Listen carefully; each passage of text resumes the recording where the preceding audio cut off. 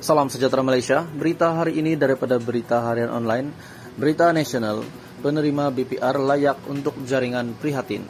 Kuala Lumpur, kerajaan memberi peluang kepada golongan yang lulus rayuan bantuan prihatin rakyat BPR untuk turut menyertai program jaringan prihatin, kata Menteri Keuangan Tengku Datuk Seri Zafrul Tengku Abdul Aziz.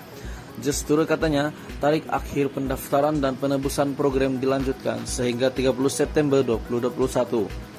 Lanjutan ini juga bertepatan dengan situasi semasa serta memberi ruang dan masa kepada mereka yang perlu mendaftar dan menembus telepon di kedai secara fizikal, katanya dalam laporan laksana ke-69.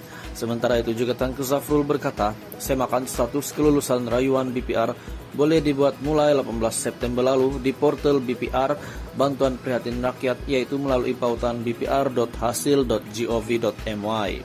Katanya pembayaran rayuan BPR terbabit membabitkan hampir 200 ribu penerima dengan anggaran peruntukan sebanyak RM 240 juta.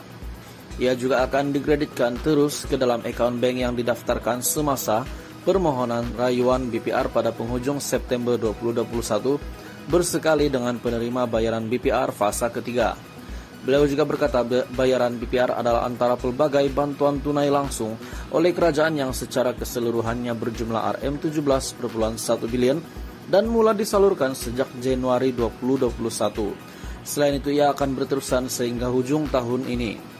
Bagi 2021, kerajaan mengemas kini data golongan B40 yang layak menerima BPR melalui permohonan rayuan BPR yang telah dibuka pada 15 hingga 30 Jun 2021. Kerajaan sedia upaya memberi ruang dan peluang kepada golongan yang benar-benar layak untuk mengemukakan rayuan beserta dokumen yang berkaitan untuk disemak semula oleh lembaga hasil dalam negeri.